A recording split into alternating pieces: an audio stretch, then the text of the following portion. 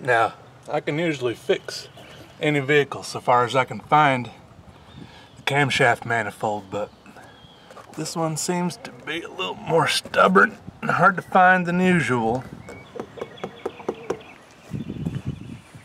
Just a little more elusive. That's all right. I'll find it. We'll get there. Mm, I'm not super car savvy.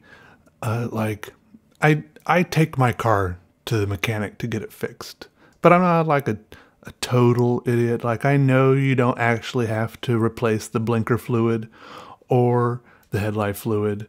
That stuff it it it cycles around and gets refreshed as you go. Kind of like uh like engine oil. It, it goes for a while, gradually it gets darker and darker. One thing I do like about it, I do know how to change my own oil. I do like it when you go under there, you put the pan under there, pop that little nut out the bottom, and sometimes that oil comes out and goes in a little pan you have under there, that stuff just it it flows out so black and pure. It looks just like a solid, unmoving rod, but really it's oil flowing out of there. It's flowing, but it doesn't look like it's flowing. It's crazy. But most of the time I do, I do just go to a shop to get my oil changed because it's like it's they do it faster, quicker, easier, and the cost of the oil is included in the price. Uh, I don't know. There's something to be said for convenience, but also something to be said for doing it with your own two hands. It also depends on the type of car you have, because that usually when I did my own oil changes, it was on my old Volvo 240 DL, and uh, that thing was a little higher off up off the ground. And it's it seems like the older a car is, the more kind of spaced out all the different parts and components are, and it's just easier to get your hands in there in between everything. You, could, I mean, there's some of these old cars you pop the hood and there's there's space to smuggle people in there just in random places in the engine bay and stuff. I, I, I don't. Maybe now that I live, you know, have like some, I have some, some, some. What's it called? A driveway space.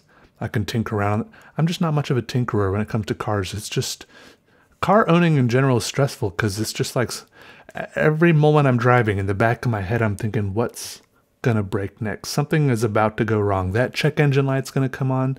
One of these, this dashboard is a, any second now, it could light up like a Christmas tree. Do you guys think I'm talking more southern now that I live out here in the country? Everyone I meet out here, they talk like this. They talk they talk all southern and country. And I think it's rubbing off on me. I think it is. It's all right. It'll come and go. It's fine.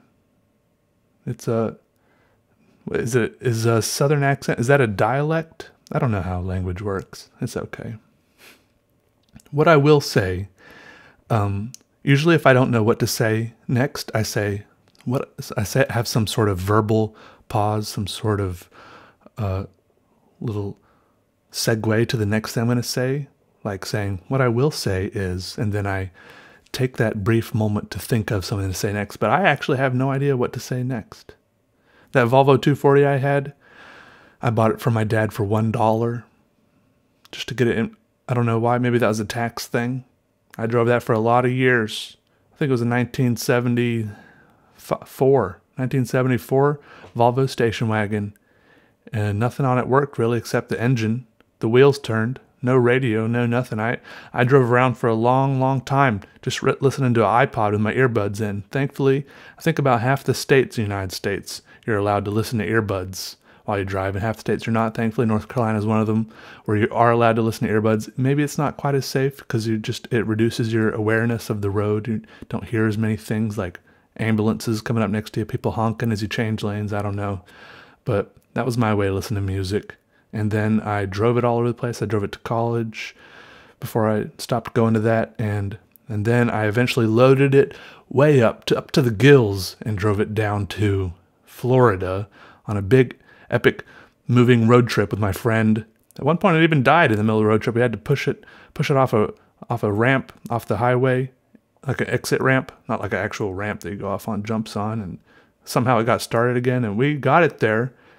And for some reason, right before that, we wanted to listen to music so bad on that road trip, not just on our headphones. I spent, I spent like three hundred dollars on a speaker system for the car, for a one dollar car, and we listened to one FM Static album. FM Static's a band, not just the thing FM Static. We listened to one FM Static album, the whole that whole it was like a six it's like a 12 i don't know it was hours and hours and hours driving from north carolina to florida.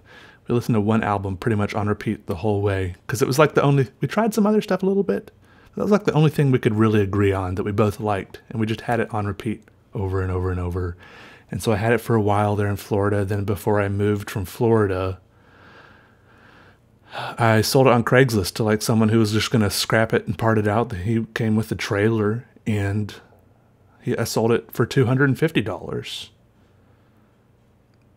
Maybe it would have been more apt to sell for $240 since it was a, a Volvo 240. Hmm. Good times. Uh, good memories in that car. Yeah.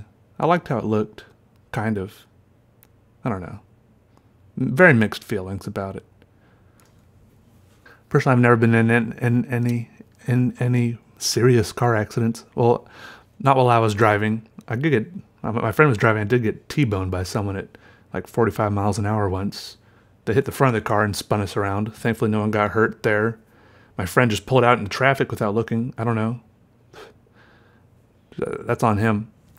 Uh, the only accident I've been in that was my fault is I was sitting at a traffic light behind someone, and then my Mountain Dew I came to a stop and my Mountain Dew rolled off the passenger side seat into the floor, the passenger side. So I leaned way over to try to grab it. And in my, I was trying so hard to grab the Mountain Dew that I must have taken my foot off the brake pedal and I just kind of rolled forward two or three feet, you know, and I just kind of bumped into the person in front of me. And it was just like bonk. It was just like a chill little bonk. And then they got out all furious, stormed. They just, it was then the green hit, the light had turned green at this point, but they got out. They put their car in park. They got all furious, just like it was some lady, and she's like, "What was that?" I was like, "Oh, sorry, I don't know. Like, can we pull over somewhere? Can we not do this right here?" So she she pulled off and pulled over, and I could have just kept driving. I feel like like she had no idea what my license plate was or anything. This was in a part of town I I even drove in very much, right? So I could have just cruised on. She she was pulled over off the road. She would have never seen me again. Anyways, there were these two tiny little dents in her rear plastic bumper that she was furious about because my front license plate was held on by these two huge screws that protruded really far out. And they put these two dents in her bumper, and so she, I, I, don't know. I just gave her my insurance information. I never heard about it again. Hopefully, my I don't think my insurance even went up that I heard of. I mean, they don't tell you if your insurance goes up, do they? Do they? They just do they just start charging you more? I don't know. I don't know how it works. Anyways, I'm glad I haven't been in any car accidents. That I got hurt or anything. I don't know why I just told you all this stuff about cars. I'm not a I'm not a car person. I feel like that's a I feel like you either got to have like a lot of money to not have to worry about cars, or you just got to have like a good place to work on cars, or grow up around people that are working on cars. I don't know. It's like a maybe it's just like a way of life. I'm not sure, but it hasn't been me yet. But maybe it could be one day. I don't know. All right. Well, there's my car talk. All right. Goodbye, everybody. Goodbye. All right. Goodbye.